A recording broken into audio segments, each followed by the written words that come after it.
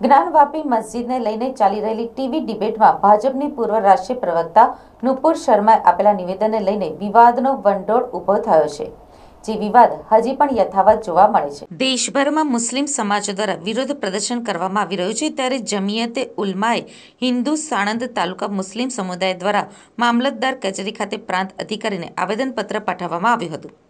અને નુપુર શર્મા સામે સખત પગલાં લેવાની માંગ કરવામાં આવી રહી છે. એક ચોક્કસ વર્ગની લાગણી દુભાઈ હોવાને લઈને આ વિવાદ વધુ વકર્યો છે. નુપુર શર્માના વિવાદિત નિવેદન બાદ ઉત્તર પ્રદેશના કાનપુરમાં હિંસા, ભડકી અને બાદમાં કતારમાં પણ આ બાબતને લઈને વિવાદ થયો છે. ધાર્મિક ટિપ્પણીને લઈને વિવાદ દિન પ્રતિદિન વધતો જાય છે. હવે તેના પડઘા ગુજરાતમાં પણ પડ્યા છે. ગુજરાતના અનેક શહેરોમાં નુપુર શર્માના રોડ ઉપર પોસ્ટર લગાવીને વિવાદિત નિવેદનનો વિરોધ કરવામાં આવી રહ્યો છે.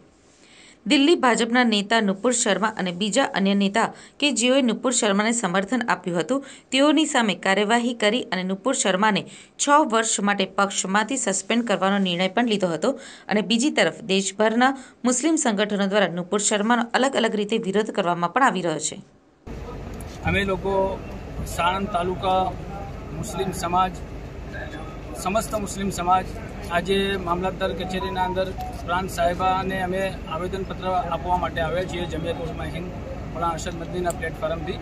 તો અમારો મકસદ એ છે કે હિન્દુસ્તાનના અંદર જે લોકો નફરતભરી વાતો કરી રહ્યા છે, અમારી એકતા, હિન્દુ મુસ્લિમ ભાઈઓની એકતાને તોડવાની કોશિશ કરી રહ્યા છે, ડિબેટના અંદર બેસીને, મીડિયા ચેનલો, ન્યૂઝ ચેનલોના અંદર બેસીને આવા લોકો જે ભડકાઉ વાતો કરી રહ્યા છે અને ધાર્મિક ટિપ્પણીઓ કરી રહ્યા છે. ધાર્મિક ધર્મગુરુઓના બારામાં ટિપ્પણીઓ કરી રહ્યા છે.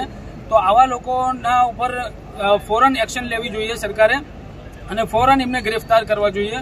અને અમારા વડાપ્રધાનશ્રીથી અપીલ કરીએ છીએ અમે લોકો, સમસ્ત મુસ્લિમ સમાજ, સાણંદ તાલુકા, કે આપણે આના ઉપર કાયદો બનાવવો જોઈએ કે આવા લોકો વારંવાર ધાર્મિક ટિપ્પણીઓ ના કરે અને દેશના વાતાવરણને ખરાબ કરવાની કોશિશ ના કરે. અમે હિન્દુ, મુસ્લિમ એક થાળીના અંદર ખાવાવાળા હતા. આજ તમારે, તમે લોકોએ એટલી નફરત ફેલાવી કે અમારા ભાઈ ભાઈને અમે અમારા લોકોને તમે અલગ કરી દીધા. તો આના ઉપર કાયદો લાગુ કરવો જોઈએ.